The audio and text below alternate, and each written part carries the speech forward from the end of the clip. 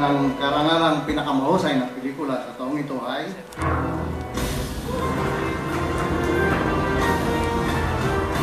Norte, ng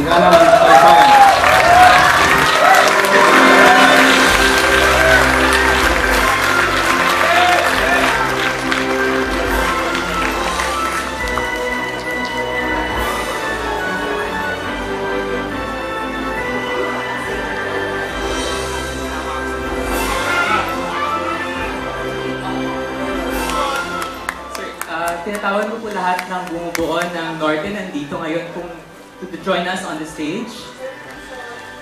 Terry Dizon. Ah, anyway, nagpa, pinapaabot po ng aming director na si Love Diaz, aming producer na si Moira, at kilala dati bilang Raymond Lee.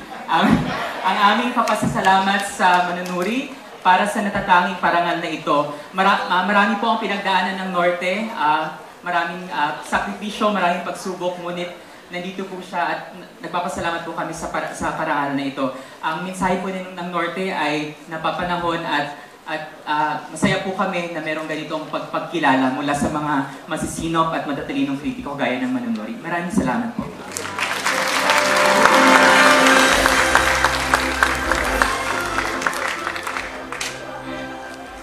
Ah, itinatampok na manunuri ng pelikulang Pilipino ang Norte, ang Gana ng Kasaysayan ni Love Diaz bilang pinakamahusay na pelikula ng 2013. Sa unang pagkakataon sa kasaysayan ng pelikula sa Pilipinas, isang kagilagilalas na sine ay nangahas magharap sa publiko ng isang problemang pangkaisipan at pangkonsensya. Ang Norte ay naglalarawan sa pagsalungat ng isang kabataang intelektual sa umiiral na personal at panlipo ng batas ng moralidad.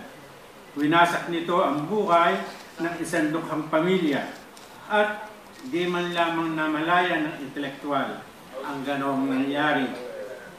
Pinag-iisip ng malalim ng direksyon ni Diaz ang manonood at buong galing na nagampanan ni Nasid Lucero, Angeli Bayani at Archie Alemania ang personal at panlipon ng mensahe ng drama.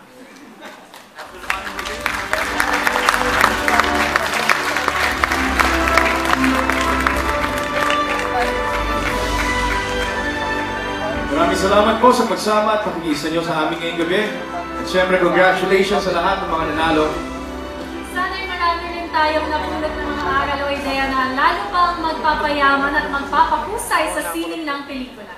At maging malikhain, maging mabusisi at maging mapapakilan lang yan sa dapat natin gawin sa pagbuo ng ating mga pelikula. Magandang gabi sa inyo. At hanggang sa susunod na taon, sa 38 Gawad ko yan, Best Actress na po ako. Maraming salamat sa inyo lahat. Magandang gabi po.